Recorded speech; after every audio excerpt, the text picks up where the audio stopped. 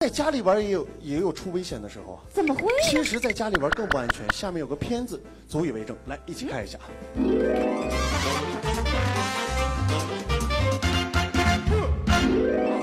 来，基友拉拉手，一起玩上悠悠，亲密接触也不害羞。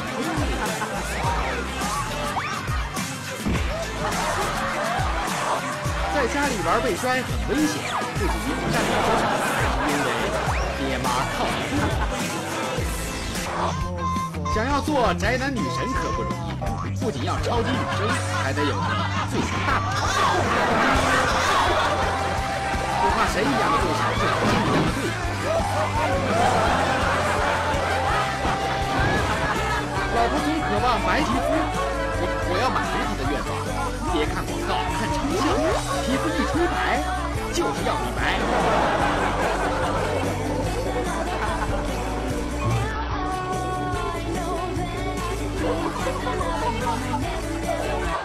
从来只有泼水节，下面带你感受一下泼雪节，节日快乐！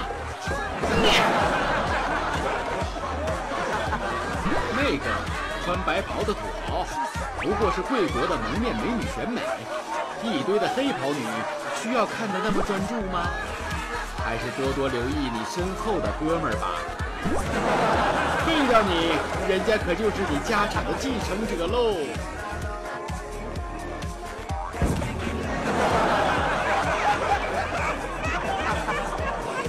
合格的老公不仅仅要安得了钢管，最好还要知道老婆的体重。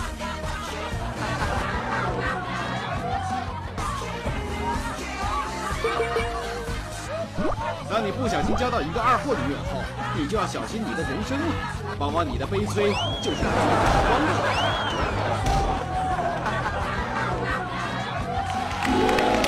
时间拉近，那从爷爷奶奶那个辈分，咱们再往回聊。爸爸妈妈，哎，聊到了爸爸妈妈这个辈分上，那个年代，他们都玩什么？想必那现场的好朋友和两位快乐嘉宾也听这个长辈啊讲过，哎，那个时候都玩什么？哦，就是六六七十五六十年代，对对对对，六六七十年代，我不太了解，但是艾伦应该很，因为他赶上了六十年代的尾。玩土讲，好啊。这个六七十年代你玩什么呢？艾叔叔，他真跳皮筋啊，斗鸡，还是啊，玩了二十年那点玩意儿，丢手绢一三十了还玩这个呢？还有，呃，我勾起大家回忆一下，就是可能抽冰嘎，呃，陀螺，哎，你们可能叫法不一样，还有女孩爱玩的什么？跳房子，跳皮筋儿，跳房子，跳房子。没玩过，从小就这么危险啊！就是极限运动，好多小方块啊，那个 我还以为跳房子，极限运动呢啊，跑步。那是天天酷跑，特别小狮子，小狮子，那是超级玛丽跳房子。还有什么？父母那个年代，他们都玩什么？二八自行车、弹弓、打鸟、掏裆骑，啊，掏裆，到处跑，对。对，下河抓鱼，我那个上房偷鸟。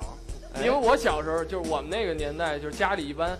都是父母留下的自行车，然后学那辆，然后我小时候就有一辆那个二八车，嗯，呃，也就是四年，不到四年级，好像刚上刚六六七岁吧，嗯，然后我就记得特别清楚，在一个部队大院里有一个大操场，嗯，我爸就给我扶上去了，在后面一边扶我一边骑。